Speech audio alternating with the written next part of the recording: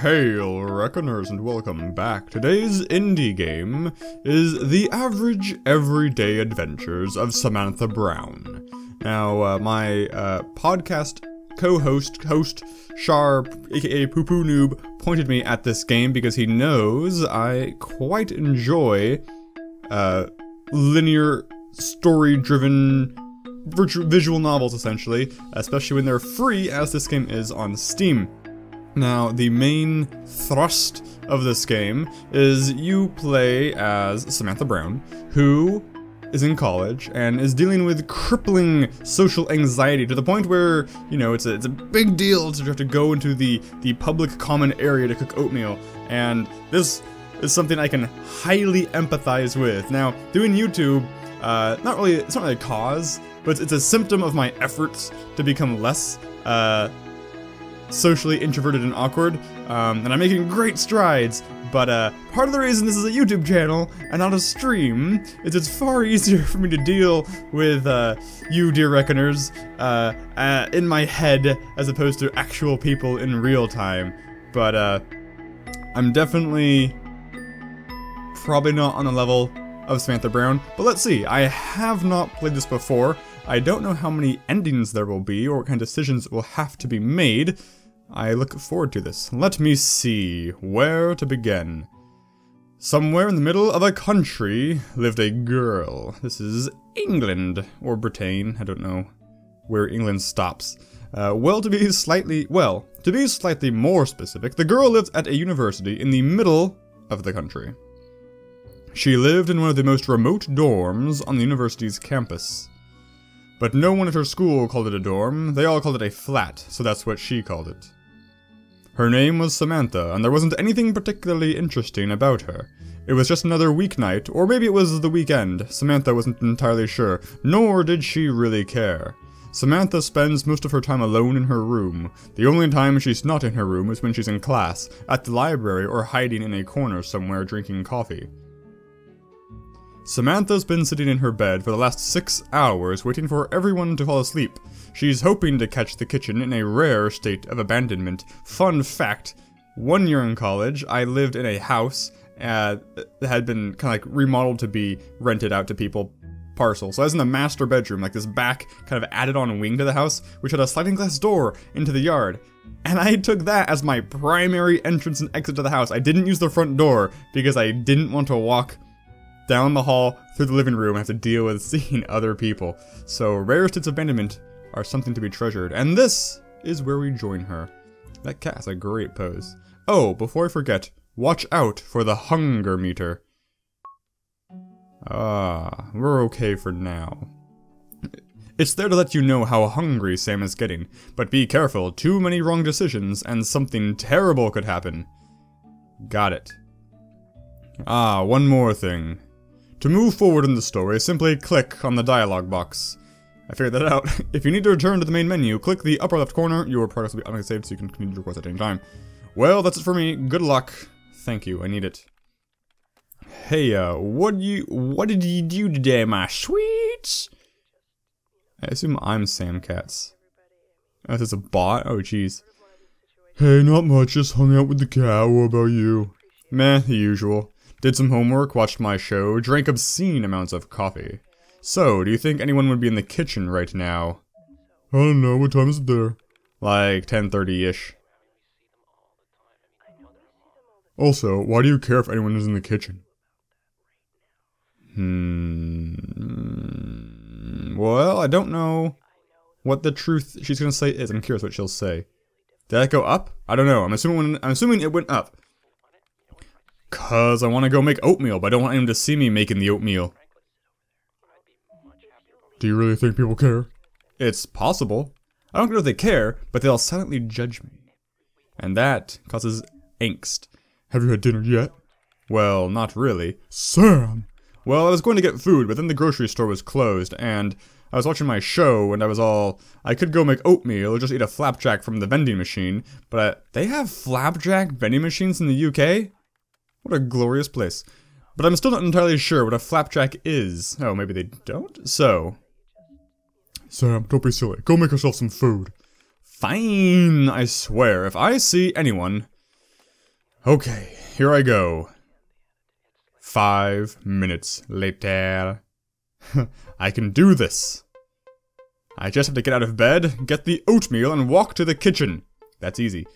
This is actually a compound issue, I think. So for me, even though right now I I work from home and I'm taking a break to record, even though I work from home, which A is not a public place and I am alone, it still takes quite a strong incentive, i.e., hunger pains, for me to get up and make myself something as simple as a bowl of cereal. And that obviously is completely unrelated to social anxiety. So, she obviously has the social anxiety of the people, but me, there's the people thing, if this was a public place, as well as just I don't know what the, the cause of it is, but some sort of lethargy. And I don't know, maybe it's because these glowing screens can entertain me at all times. But, uh, it's a compound issue here. So for me, in her situation, even if I knew for a fact that the kitchen and the way to it would be empty, just getting out of bed and away from the computer, putting on shoes, blah blah blah, that would heighten the impedance for this course of action for me immensely. People walk into kitchens every day. Oh, I love the little hedgehog tissue dispenser. That's so cool. See, the oatmeal is just right over there.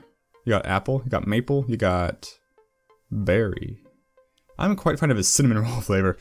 It's like dessert. Okay, I'm officially out of bed. That is a massive first step. Good job, Sam. You are a champ. Hmm, which kind of oatmeal do I feel like today? Good, let me choose. Uh, I feel like apples and cinnamon. Yes! That is the one I want.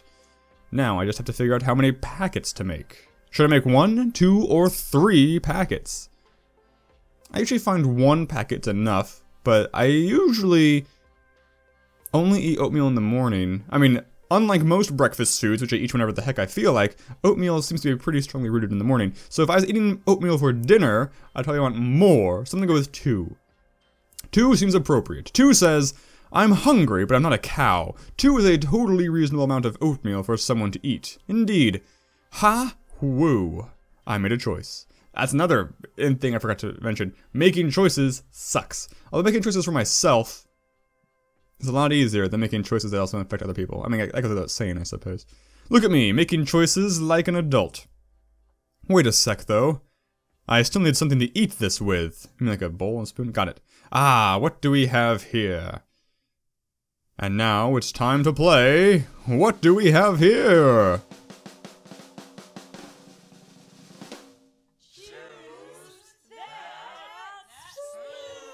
I only saw one spoon to choose, but I will make that choice. Can I click? Okay. The only game show where you choose that spoon. Please choose that spoon. Eh, I gotta click it. I did it. I won an amazing all-purpose eating utensil worth an estimated value of nine $199.95. That is a very valuable spoon. Alright, now I just have to grab my mug and off we go. Is that cup big enough for two packets of oatmeal? I don't know, man. Alright. Mug, check. Oatmeal, check. Spoon, yep. I think that's it. Hmm, wait, just hang on a minute. What if someone in someone's in the hallway? I mean, should I go out there right this second? Well, waiting is unlikely to give us further knowledge that we wouldn't already have. Perhaps the game wants us to wait and listen for voices or footsteps. How, um, um, I say yes, go already, because quite frankly, maybe I'm not a psychologist, but from my experience, I think being thrust into situations of social anxiety normalizes them and it makes them less anxiety inducing. So this is probably the healthier mentally choice of action. I don't know. That went up. Crap. How'd that go up? I'm an adventurer. That's cool. That's a cat fedora. That's really cool. Why am I high? Whoa! I have to walk all the way down there? I'm never gonna make it. Why take it slow? No, no, no, no. Move it. You gotta move it. Gosh dang it, so we're getting hungry. There, that's a little better. I just have to take this one step at a time. The thing is, I'm just not a people person. Oops, I missed something. I mean, communal kitchens? That's the worst possible idea. Here you go, eat in front of a bunch of complete strangers. How about no? How about if I eat in the safety and comfort of my own room? Well, absolutely. You take, you mean, you make the food there, you come back. Public kitchens are boring anyway. I mean, I guess you could take your laptop with you, but what are you gonna do while you eat? No one would bother me then. Yeah, that's a much better idea. But here I am, creeping like a creeper. Bah! Uh-oh. Did I bump something? Oh no. Shit. Is someone coming? Okay, false alarm. Onward. I just want to eat my oatmeal in peace. I don't want to see anyone. I don't want to hear anyone. And I sure as hell don't want to talk to anyone. Cause you know what? The last time I talked to someone, they told me I did my eyeliner wrong. Small eyes. That's what she told me. It made my eyes look small, and I should trust her because she knew how to do makeup. Well, what the hell am I doing? I wear makeup every day. Is she saying I don't know how to do my own makeup? Cause that's super rude. Like, how do you refrain from talking about my face until we've known one another for like five minutes? Is... is that the light? Oh my god, what if people are in there? Or worse. What if they want to eat with me?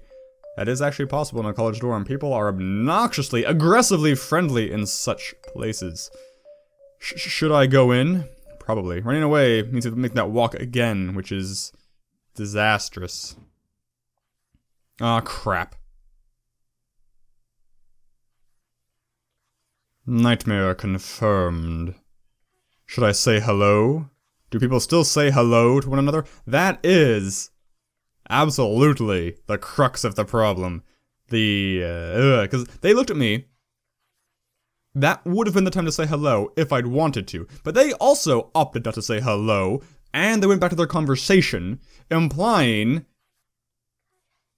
you know, I'm not gonna like interrupt them. I'm not going to call their attention back to me just for this barbaric social imagined ritual thing. We're not saying hello. What should I do? Don't say anything. Yeah, screw them. It's like, yeah, I'm gonna, I'm going to, I'm going to make oatmeal. What about it? Everyone thinks oatmeal is gross. No, they don't. But it's really good, and it sweeps cholesterol from the arteries, and that seems important. Does it really do that? I don't know. I, I, oatmeal's good. There, I made it. That's like half the battle. Only half? Okay, so I can't use any pots and pans because I don't technically own any, but there is this electric kettle. I'm assuming anyone can use that. That is a superior thing to use. You could also get away with using the microwave. Microwave is totally acceptable, in my opinion.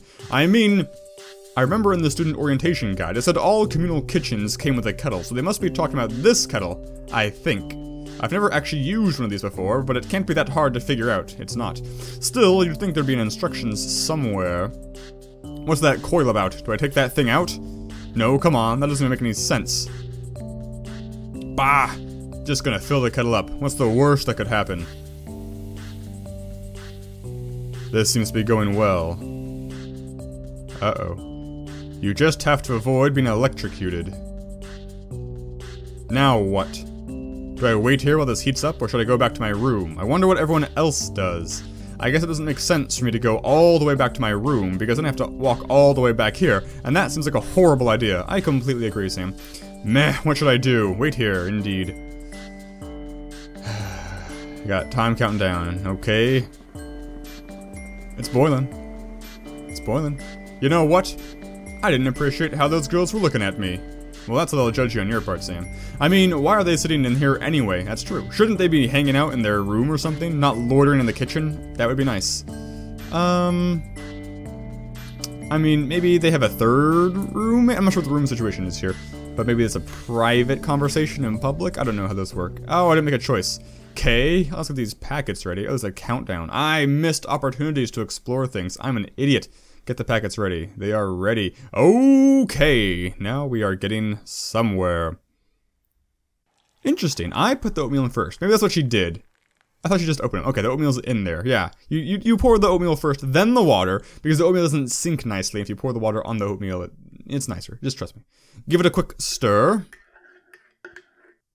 And now...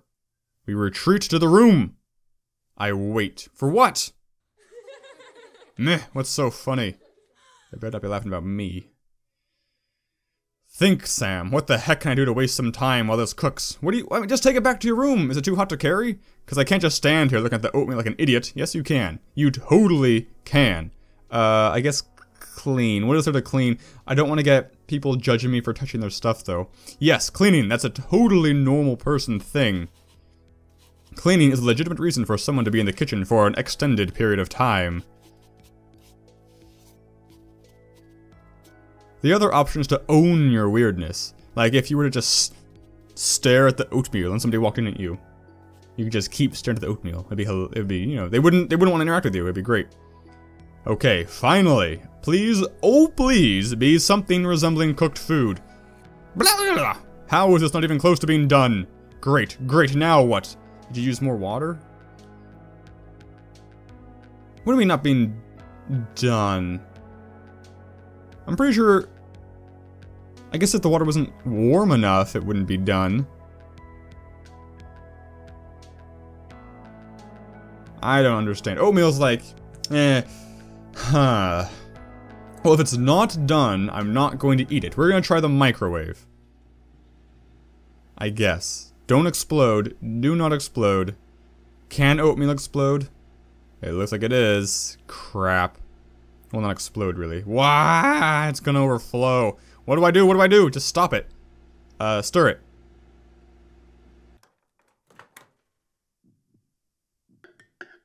Yeah. Yeah. You can hear my heartbeat. Okay, I guess, I guess I'll just stir this every few seconds. Every few seconds. Gotta, gotta cook it, I guess.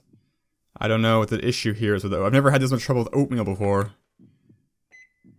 but it's every five seconds. This is really awkward. People in the room are like, what is she doing with a microwave? Crap. This is actually, uh, the heartbeat's making this scene as intense as it would be. This microwave is so freaking loud. How are these not the same thing? Keep cooking it. Whatever that means. Hey, it didn't go up. That's a good thing, I think. Is that the first right, the second right decision we've made? So, I did not choose the option to say put it back in the microwave, and yet we put it back in the microwave. So I have no clue what these decisions mean. This... It's gotta be getting close now. Uh... Yeah, please hurry. Ah, it's a big jump. I really wish I understood what is wrong with this oatmeal, what we're trying to fix, so I can make a more informed decision. My lack of oatmeal culinary knowledge is shooting me in the foot. It's been a while since I've had oatmeal. Cereal's my jam. That's it. It's done. It's got to be. Porridge, perfection achievement. Fudge cake! That's hot. Yeah. That's, how the hell am I supposed to get it out of the microwave? Ooh, using your shirt looks a little awkward. Your shirt's not that long. I say use it anyway. It's worse to spill it. Um, I guess I'll take out the cup first and use my shirt like a glove? This is actually ingenious! Yep, I think, yes, I think this is actually working. People seeing this, it would look weird, but they would instantly understand what was going on. So this isn't too weird. They would be less instantaneously understanding if I walked by like this. Like they would eventually arrive to the conclusion that my hand is hot. But if you see somebody holding a cup with their shirt, you pretty much instantly assume the cup is hot. Anyway, I'm leaving so you can have your precious kitchen back. So if she actually said this to them, that's very passive aggressive, and she shouldn't have done that. I assume she is internal though. Whew, I made it out of there. Gotta go, just have to get back to my room. Almost there. Unlock my door. I guess I should put my cup down. Well, the only option is yes. Yes, you should. Uh, crap. Here we go. Wait. Why? Where are my keys? Oh, I can't believe I forgot my keys. That is pretty majorly harsh. I guess I'll just wait here until someone comes by. Someone how? Shit. Is this her personal room? Or is this the room to the wing where she lives in? Are they individually locked off sections? The kitchen's the common public area, but you need to have one of the many keys to the side area? I'm not sure.